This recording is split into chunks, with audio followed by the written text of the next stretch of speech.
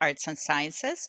My name is Laura Gunning. I'm a student recruitment officer here at Fleming College based out of the Sutherland campus in Peterborough, and I will be your moderator for today. Before we begin, I would like to respectfully acknowledge that Fleming College sits on the traditional lands of the Anishinaabe and Mississauga peoples. We offer our gratitude to our First Nations for their care of our earth and our relations.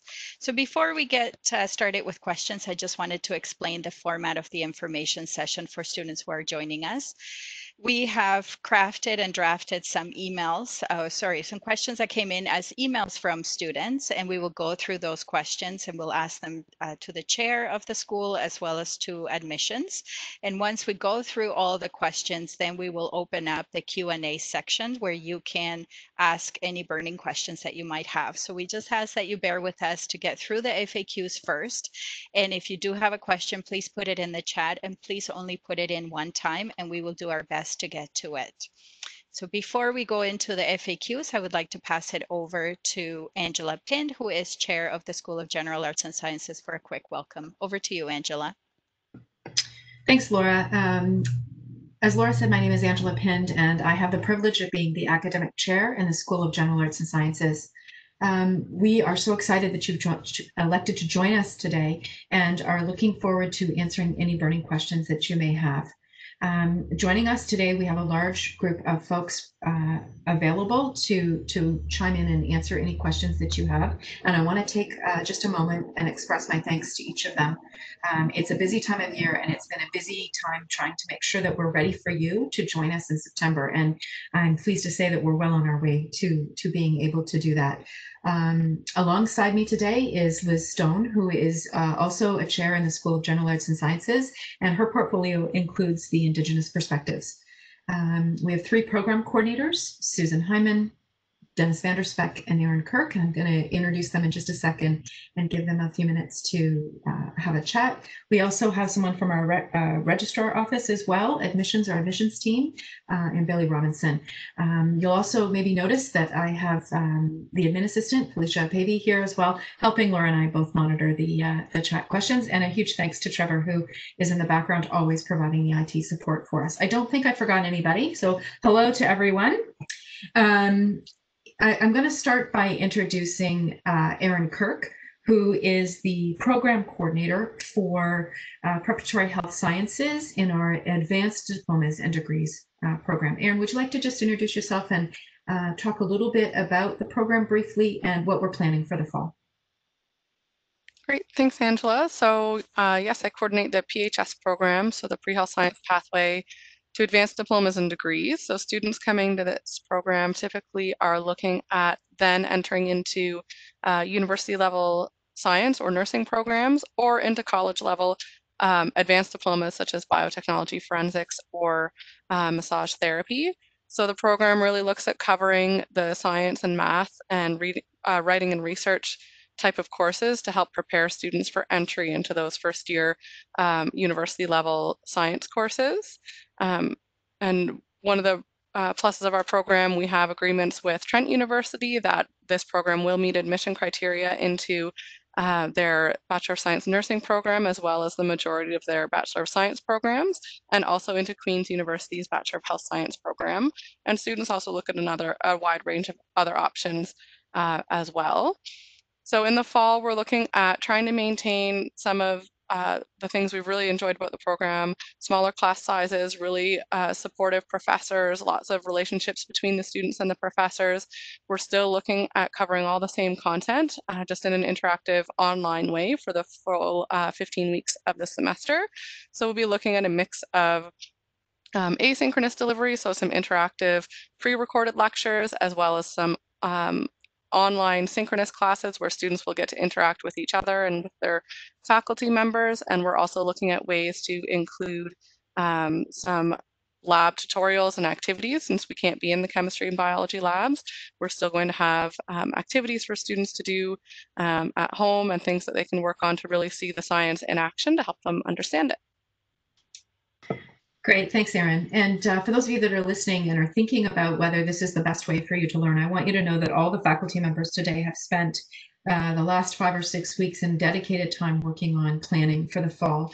Erin has referenced that they have uh, created ways and, and um, learning opportunities. I'm just going to cite one example of uh, trying to bring those lab labs to life and you will be supported and challenged to learn the science elements in a variety of those ways. So there's a bunch of different things that they're going to be doing to have you interacting. Susan, can I uh, introduce you, please? Susan Hyman, who is the program coordinator for the Preparatory Health Sciences for uh, certificates and diplomas, and ask you to speak a little bit about the program and your plans for the fall, please. Certainly, Angela. Thank you. I'm Susan Heineman. I'm the program coordinator for the pre-health pathway to certificates and diplomas program. And our little acronym is the GHS program. It's a little shorter than our, our long name. And if you're joining us today interested in the Certificates to Diplomas Pathway program, you likely received an alternate offer to one of Fleming's health programs, such as paramedic or practical nursing. And the GHS program itself is specifically designed to uh, help you reach that diploma program entrance goal. The courses in the program are really well designed to provide you with a head start into that next program. We have worked closely with the faculty and coordinators from the Fleming Health programs to ensure that you are getting a solid background and it's going to give you a leg up entering your, your next program. The program courses have health science focus to them, and there are the learning activities in each course are designed to complement each other. So for example, when we're learning about the respiratory system in biology, laws in, in chemistry. And as Erin explained uh, just a few minutes ago, we pride ourselves in the interactivity of the program, the personal support that students receive, and in what we have designed in terms of allowing you to have an interactive approach to your learning, even though we're doing this in a distance way. So our students that are currently in the program right now are going through virtual labs. They are having real-time opportunities to watch dissections. We've planned some at-home lab type activities for students. So there's lots of different things for you to do every week. You're not just sitting watching pre-recorded um, lectures. One of the strong advantages of the program is that the health programs at Fleming reserve 25% of their seats for graduates of the GHS program and you can compete for those seats if you have a minimum of 70% overall in the GHS program. You will also have the opportunity in the program to earn some of the course credits that you will need in subsequent Fleming programs. So you can earn two to four credits in courses that are part of other programs at the college. Thanks, Susan. Um, and I'm going to turn it over to Dennis Vanderspeck. Dennis is the program coordinator for the University Transfer Program. Dennis, I'll ask you to do the same thing, please, and just uh, introduce a little bit about the program and plans for the fall. Yeah, for sure. Um, so the University Transfer Program is somewhat similar to the GHS program and PHS program that you just heard about because all three are transfer programs. Uh, university transfer is different in, in two major respects. First is that it has an emphasis on social sciences and humanities as opposed to the sciences and medical science.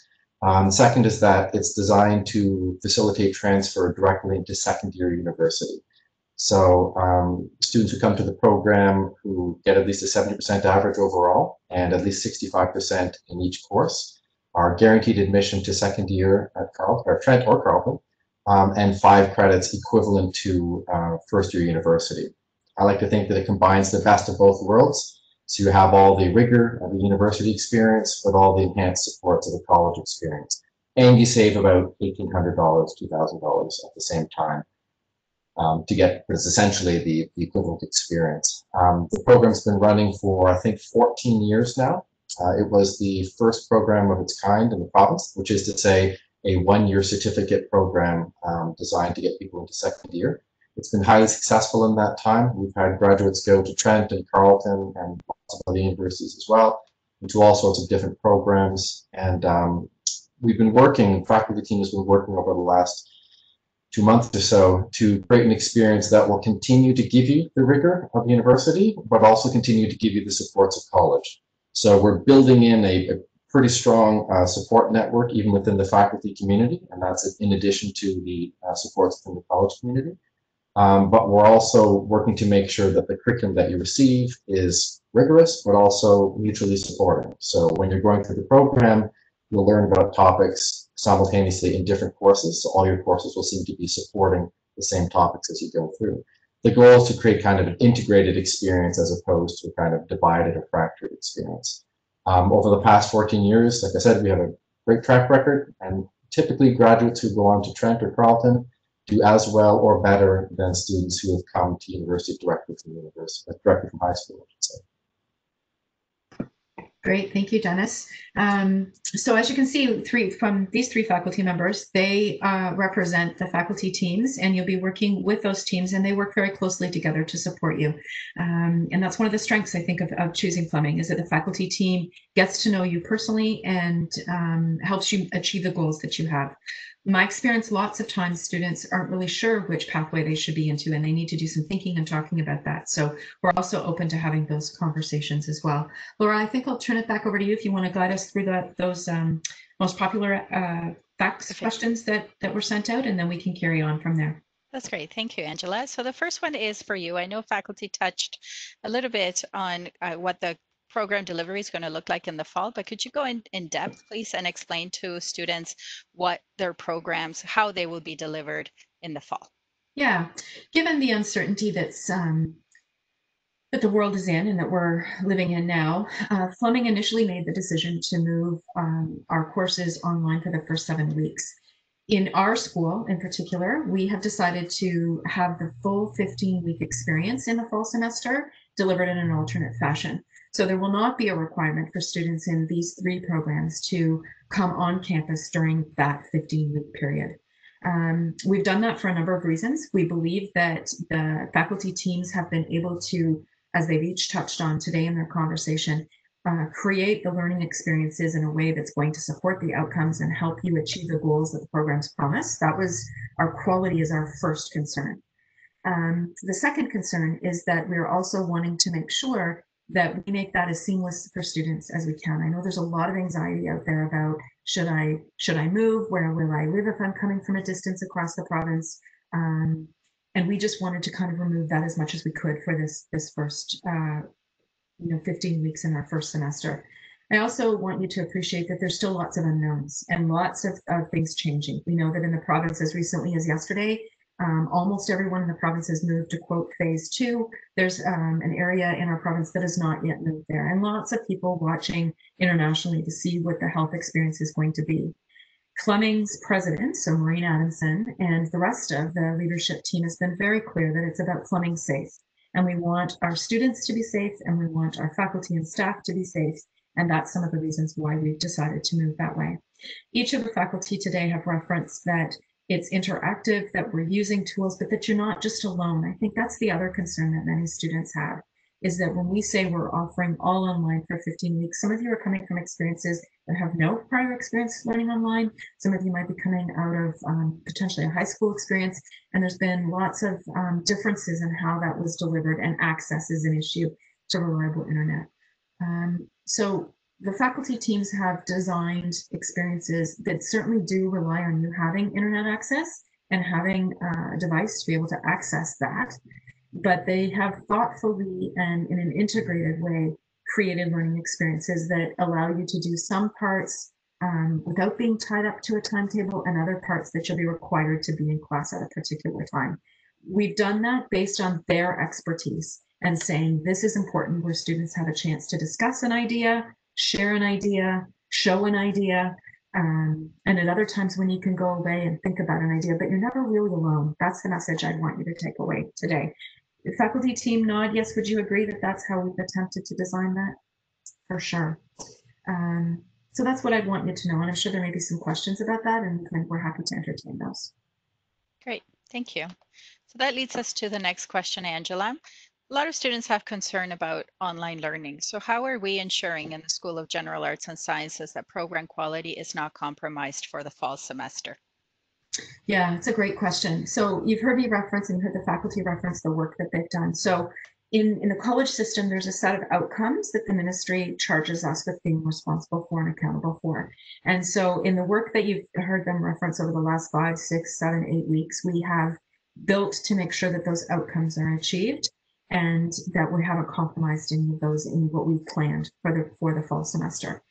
The other piece that um, I think is important to talk about in terms of online learning and building quality is really the supports. And I think I'm probably jumping ahead a little bit more to another question later, but it, general education science and any of the schools and any of the programs don't exist in isolation.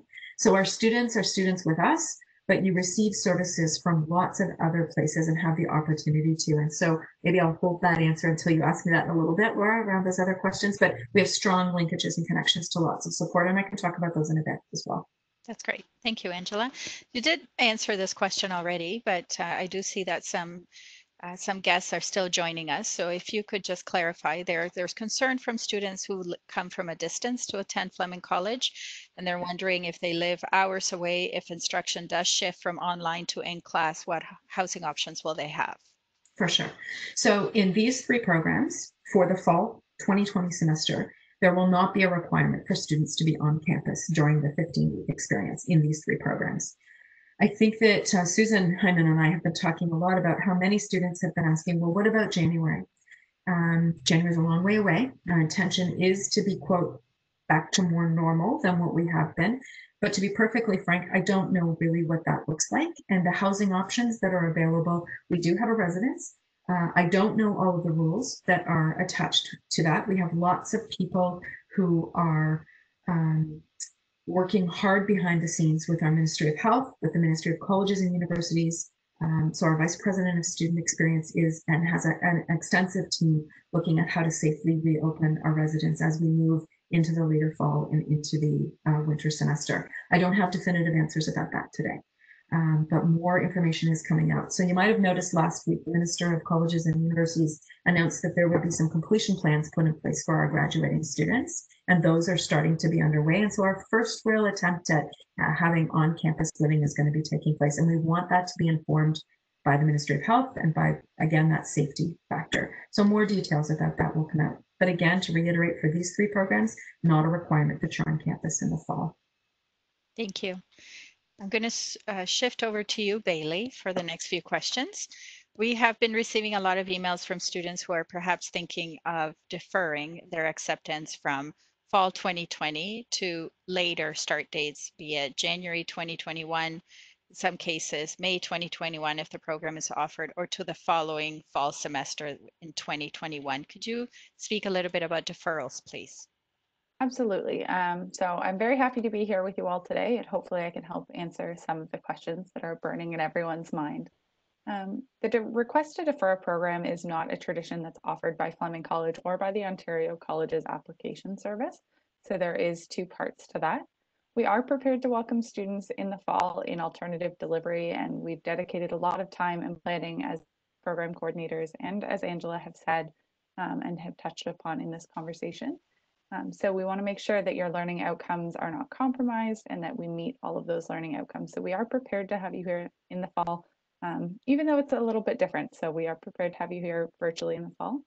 In the event that you are not uh, no longer interested in attending in the fall, um, some programs do have winter start dates available. You can add that onto your Ontario Colleges application, but we can't defer your application into fall of 2021 at this point. Um, your seat would not be guaranteed. We would love to see your application for next year.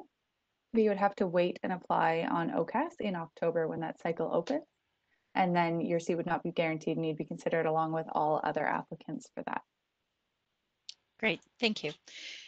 Next question is also for you, Bailey, please. We have been receiving a few inquiries from students who are wondering about tuition fee being reduced because the fall semester will be online. Could you speak a little bit about that, please?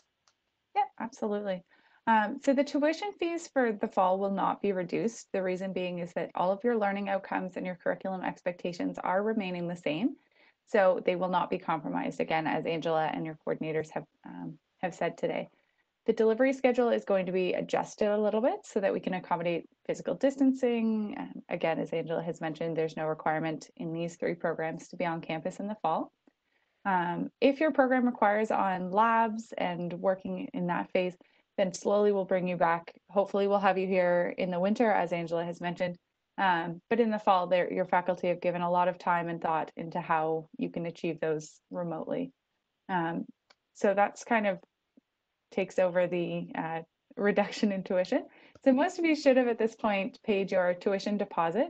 If you received an alternate offer, unfortunately, I'm not 100% sure what your tuition deposit deadline was on those alternate offers, but that should be coming up soon. The remaining tuition for your program is going to be due on August the 7th. So make sure that you pay that um, remaining tuition or secure your OSAP by then if you're going to be receiving some financial assistance. Thank you. Next question is also for you, Bailey. Could you speak a little bit about what sports and recreation opportunities will be available in the fall for students? Absolutely. So currently we're reviewing the options and anticipated impacts for the fall sports and recreation activities because of COVID-19. And that's going along with the return to campus and the return to sport plans for the province of Ontario.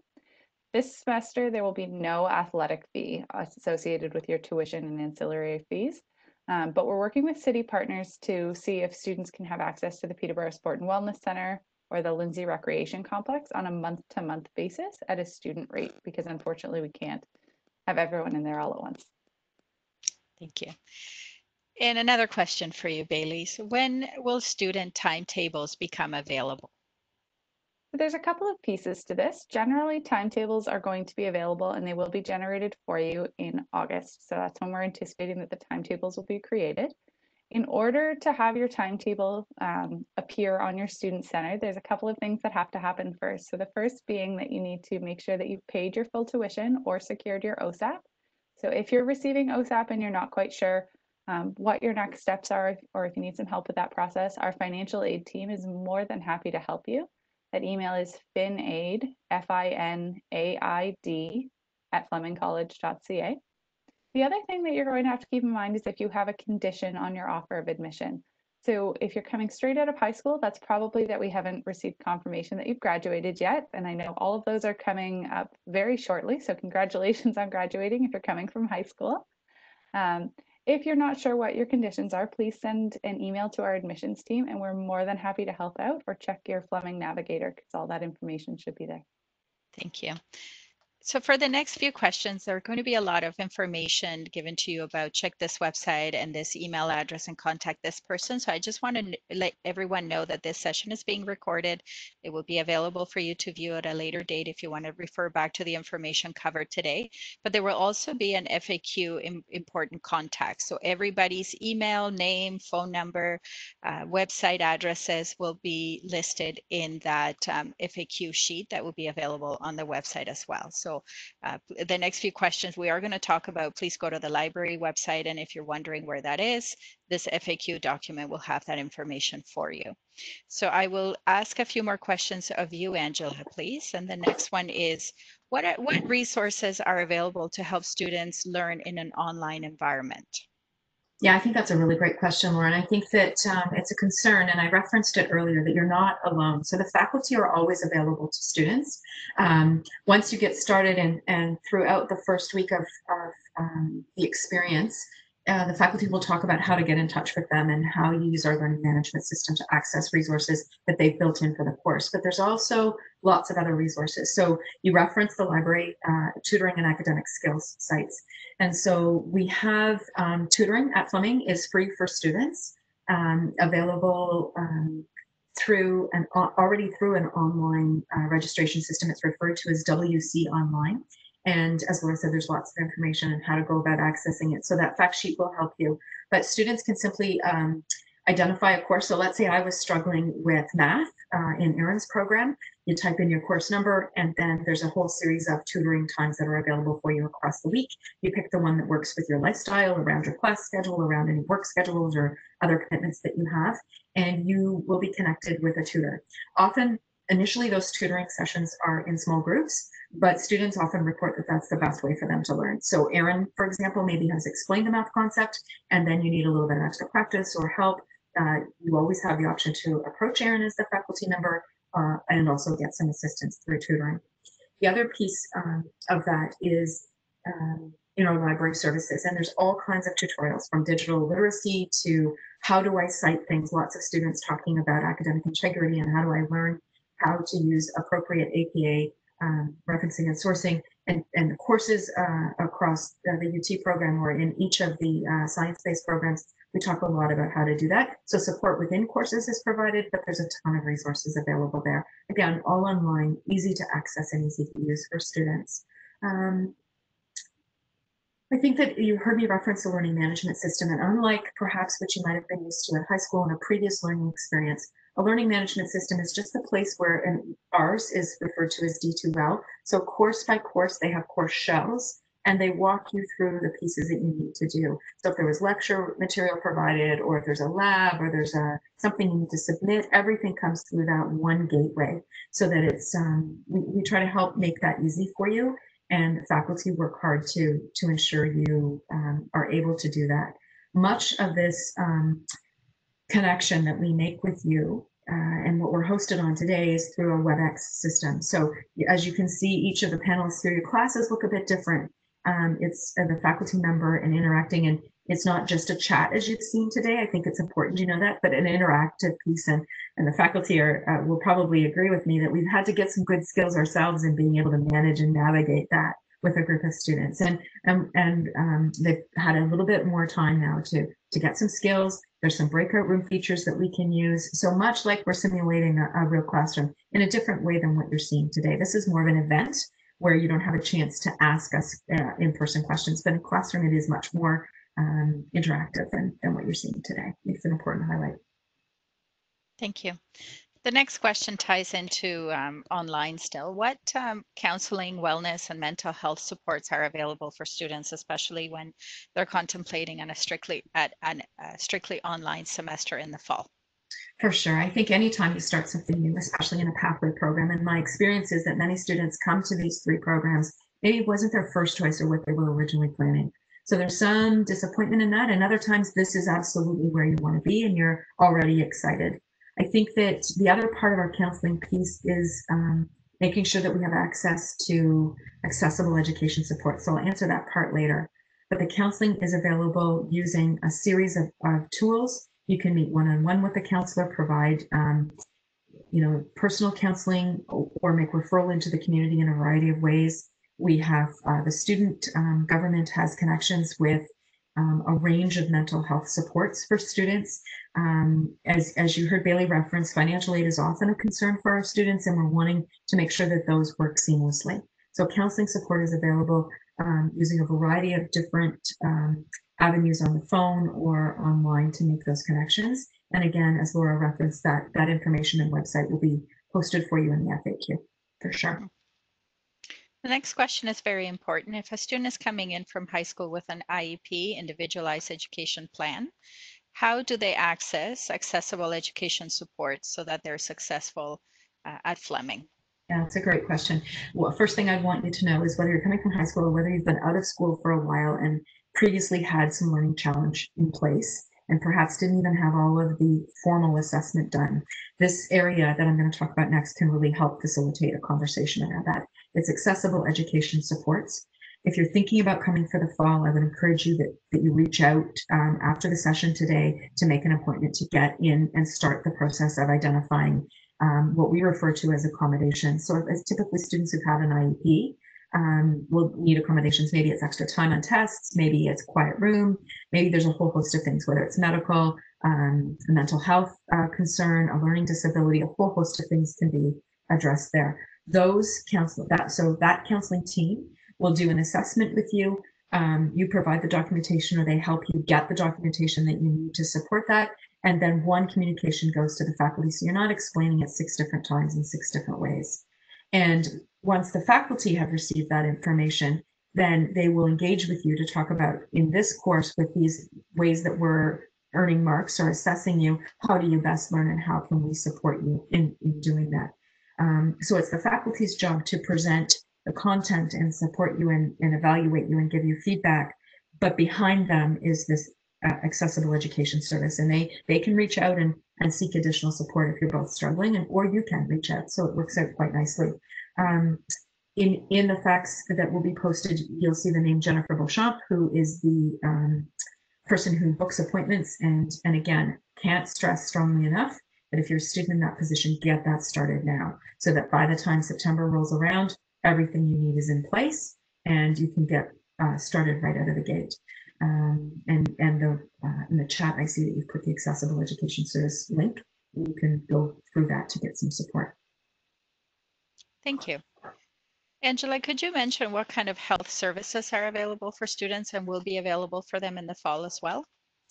Yeah, in a similar way, health services is currently staffed and available for student consultations and, and will remain so across the fall. We have a number of doctors that partner with us and provide healthcare in a variety of ways should a student need it. Some programs that you're moving into have quite strict and stringent uh, vaccination protocols. Uh, we refer to those as NARS, non-academic uh, requirements. And in Susan and Aaron's program in particular, they'll, they'll talk a little bit about those and get you started on your way. That'll be something that in your next program you'd have to have done in advance of starting. You can imagine if you're going into a healthcare setting, there's going to be some requirements that, that you have to do.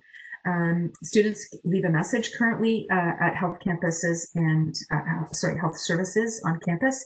And uh, we also have nursing staff uh, available to help triage and direct students into access for healthcare. Thank you. And another question related to student services. Will there be tutoring available for students in the mm-hmm. fall, even though they're studying online? Yeah, I, I made reference to the WC online system earlier uh, learning strategists and tutoring. So a learning strategists can really help you if you're struggling with the time management. Often students say to me as they've come out of high school or if they've been out of school for a while, it's the um, number of courses and how do I manage all of that and balance my home responsibilities and my work responsibilities and all of those other things that students have going on in their lives. And so both tutoring and learning strategy is available uh, to students, as I referenced, free of charge. And um, you know, your first line of defense is with your faculty member, but you'll hear them referring students to tutoring, always available. And if you're a student who has accommodations that I referenced earlier, sometimes some of those accommodations will entitle you to one-on-one tutoring, which is also arranged in the same way. Kathleen Conway um, here at, at our Sutherland campus um, coordinates that process and is always happy and available to talk with students. Thank you. Angela, could you speak about what supports are in place for Indigenous uh, students who identify as First Nations, either status or non-status, Métis and Inuit? For sure. Indigenous Student Services here at Fleming is specifically designed to provide student services support for students uh, coming to Fleming in these programs um, who fall under um, Indigenous, uh, any one of those uh, categories that you've just described. Um, School of General Arts and Sciences is very, very fortunate. So that's the student services branch that provides a range of services, counseling, um, support, um, a whole host of transitional support for new and graduating students, cultural workshops, uh, connection with elders, talking about traditional medicine, a whole range of advocacy and WebEx student drop-ins.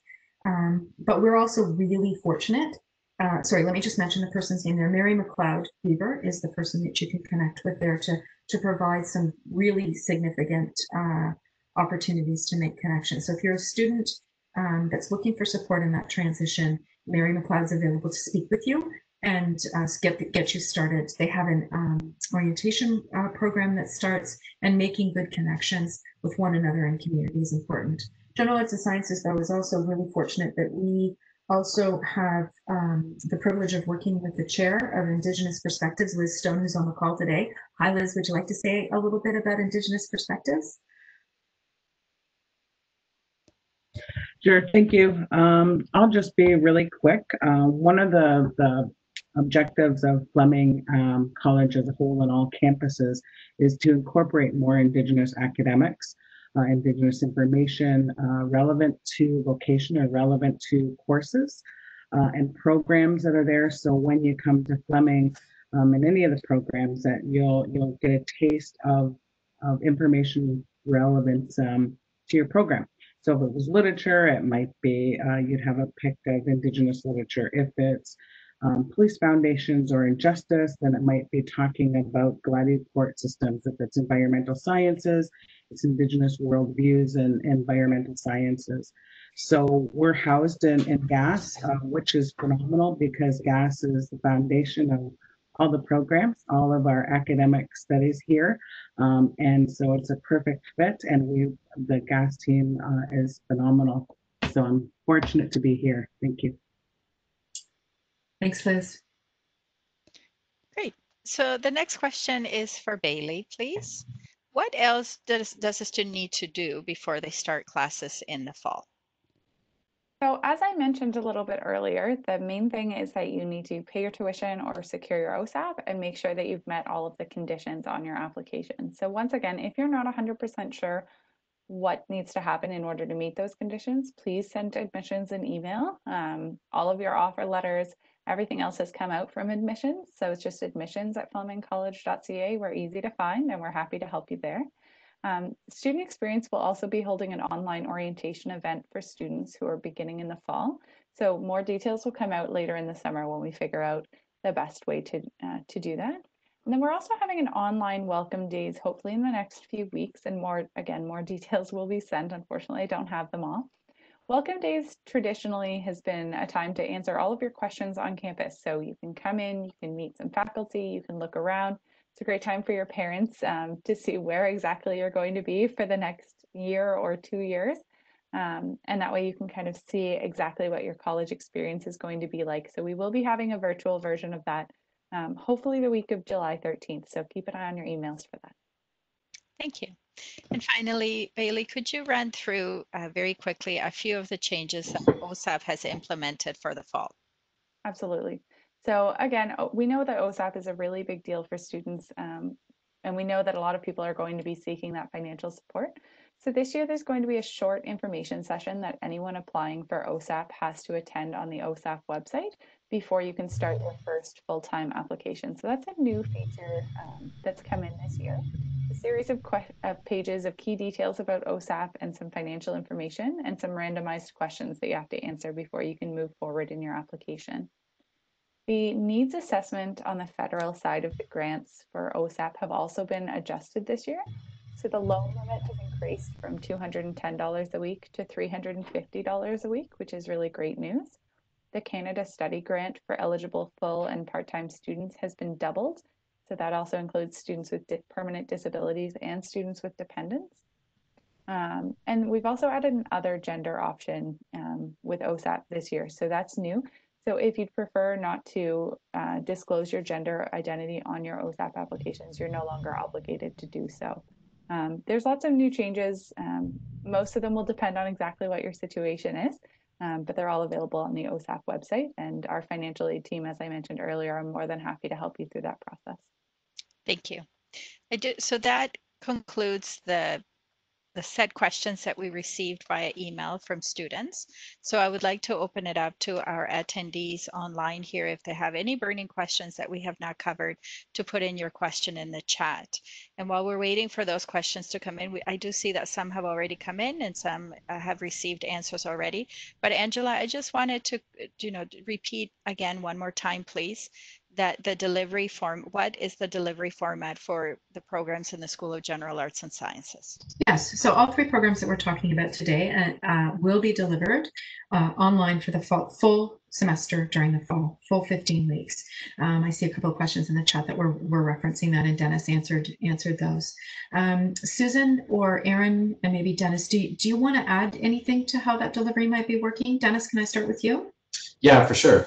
Um, I think I can speak for the other two GAS programs as well when I, when I say that um, no one currently designing the program um, assumes that students will come to the experience fully confident about all the technology and ready to go. Um, there was no assumption, certainly on the part of, of my development team, uh, that people are instantly ready to go into D2L learning environment, uh, instantly ready to use WordPress, instantly ready to use Microsoft Teams what have you. Um, so there's going to be a large training component and patience component uh, involved in that transition into online learning. So I think there's a lot of sort of ambient anxiety about taking online courses, and I think we're fully aware of that and we're planning for it. So I, I hope that it won't play too great a role in people's decision whether or not to enroll this semester. uh, because we're all kind of in it together and we're look out for each other. Yeah, thanks, Dennis. I think that's a really great point. Is that uh, we'd want you to know if you're considering coming to join us in fall that we will be working alongside you to support you in getting whatever skills you're going to need. And we appreciate the distress that that can cause when you know if you think about um, coming into the building and coming into class and and feeling confident that you would be able to navigate some of that there's always would always would have been some anxiety about will i find the right room and how will i know what tools and what's expected of me? But in the online world i think it's made that anxiety is heightened even more. And so dennis your point's a good one that the faculty teams know that and are have planned for and are designing ex- learning experiences that allow in the first number of weeks for you to get used to the tools that that we're going to be using. Um, and, and, and be clear, our programs were originally designed to be done face to face, and we've spent a lot of time and resources in making sure that we have put those other additional steps in place for you. When Bailey references that um, welcome days and how people would typically like to come and see where you're physically going to be spending time. I know that what the orientation team is planning is is a virtual tour of the campus, but also trying to show you some of the uh, of the techniques. And so in this format, I don't want you to leave us with the perception that this is how a WebEx would be run. This again is an event that's hosted so that you um, so that, that we're not all talking over one another. But in a classroom, it's much, much more messy than that. And the faculty will establish rules with you. And as a class, you will build those rules together. So it, you'll be a, a, full participant in that. And, and that will decrease people's anxiety for sure. Um, Susan or Aaron, would you like to add anything? Um, maybe I'll just add that students can expect as well, they will have a timetable um, generated. So some classes will have synchronous components where everyone is on at the same time with the professor um, and asynchronous components that you're completing on your own time uh, with the guidance of what needs to be done and um, when it needs to be completed by. So there it won't just be a sort of unstructured week where you have a task list to do and have to do it all on your own. Um, there will be some structure to the week in terms of regular class times to meet with your professors um, and regular activities that you're completing outside of that as well. Yeah, that's a good point, Aaron. We we often use those terms synchronous and asynchronous, and we know we think we know what those mean uh, among among our own discussion. But for for folks that aren't used to that, Aaron's made that really important distinction between synchronous, meaning times when you're expected to come at a set time and join in to conversation or participate in something and do it together with your classmates and your faculty and asynchronous when there's times when you do need to go away and do things on your own. That might be read a chapter or read read a, a set of pages or do a practice sheet or something do some homework right? At times when you're not tied at specific times. So it's a really good point. Susan did you want to add anything? I, I did angela. I just wanted to also mention that faculty are very, very available to students that um, in our normal operations where students would have a chance to drop by our offices, um, that now has switched to this online type of format, but um, we still have WebEx office hours um, where students can drop in. We we are sitting in our rooms just as we would be sitting in our offices and students can know that say on Wednesdays from 10 to 11 you can come and see me to ask questions about biology or or math but that you can also schedule times um, through email. We can communicate with you through email. We can uh, set up if you'd rather communicate by phone. We have ways of, of setting that up as well.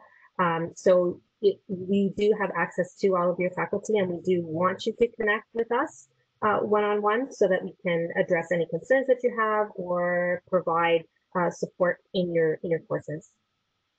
Thanks, Susan. The other observation I'd want people to know is that in each of the teaching teams, um, they work together as well. So you heard each of them talk about the connections and integration of the of the content, but the faculty teams talk to one another and they share ideas. So if something's working really well in one course, the faculty member will share that with the rest of the teaching team. And so they're very connected in ways I think that often surprise many students when they come to post-secondary. These are, are pathway programs intended to support students in getting uh, outcomes and skills that they need to be successful at their next step. Um, in Dennis's case, they move into second year university. Susan and Aaron, they move into a healthcare program that is a really competitive program. And, and the connections that each of these faculty members has made with those other programs, in Dennis's case, often at Trent University, because it's close to us, um, they bring back what they need. And so the paramedic um, program, um, Susan and I were just meeting with the paramedic team and Erin not not long ago to have a conversation about what's coming and what are the changes and how will things work. Um, so we're making sure that we're always keeping our eye on the goal for you as as learners of what's your next step as well. Thank you. So if it, I'm just going to give our uh, attendees a couple more minutes if they want to uh, ask a couple more questions in the chat. If not, and while we're waiting for any questions, I just wanted to repeat again what we've said throughout the session today, that your faculty is there to answer your questions. Your program coordinators are the best people, the best point of contact that you can have about program specific questions.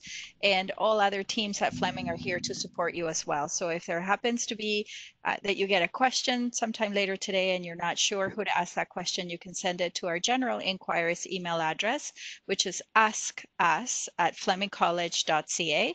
That's right on our landing page, flemingcollege.ca. You'll see a little contact us buttons on the on the bottom right hand side and that email address comes to recruitment and then we funnel that question to the appropriate person. And uh, just to let you know we also have live chat on our website monday to friday a couple of hours in the morning and a couple of hours in the afternoon as well because we're here to connect with you and we're here to let you know that we want you to be successful and that we're looking forward to you having us join us uh, in the fall so I don't see any further questions right now coming in. So unless any other panelists would like to add any remarks to what I've just said, if not, Angela, anything else? Susan or Erin, you? We good? I want to say something. Of course, Liz.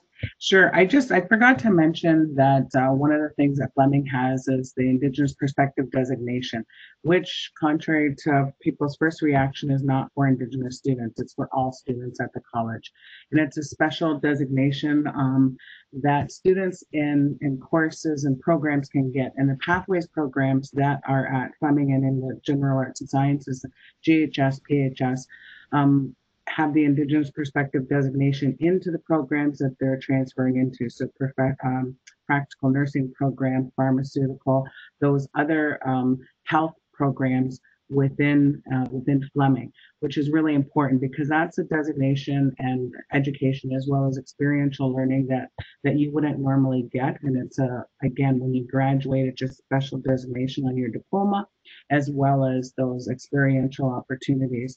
And the university transfer program, uh, which Dennis was speaking about, has a partnership agreement and transfer agreement with the University of Trent, where students that um, pass that or go through the, the university transfer program can go right into the second year of the Bachelor of Indigenous Education at Trent University, which I think is really important to identify because it is a education program that isn't offered um, at a lot of other universities, and it's something that Fleming again has that partnership to transfer right into um, the students from the university transfer. So those are opportunities as Fleming students in the in the programs at GAS that you'll have that other students won't have. So I would for sure ask and find out information about that. And remember, it's not for Indigenous students, it's for all students. So make sure that you ask those questions. And my office is right along the whole GAS hallway. Um, and so we can answer any of those questions and, and let you know how you go forward and do that. Thanks, Liz. The other piece I'd want uh, students who are considering joining us in the fall to know is that even though we're not physically on campus, we are available to you in multiple ways. Um, Susan and Erin and Dennis are uh, about to start some vacation period, but all of them will have auto replies on their email should you choose to email them that will bounce and ultimately end up with Felicia and I. And uh, we're happy to answer your questions because we know it's a big decision uh, that you have in front of you. And we would love to see you join us in the fall. And we want you, the, the parting message would be that we want you to know that we are here to support you and we'd be thrilled to have you study with us. Thank you. So that uh, concludes our General Arts and Sciences information session. This will be posted online for future reference uh, by tomorrow morning, hopefully. And uh, again, if you have any questions that maybe you didn't think of today, please email us at askus at flemingcollege.ca. And thank you everyone for joining us today. Enjoy the rest of your day. Thank you. Great. Thanks, guys. Thank you, everyone.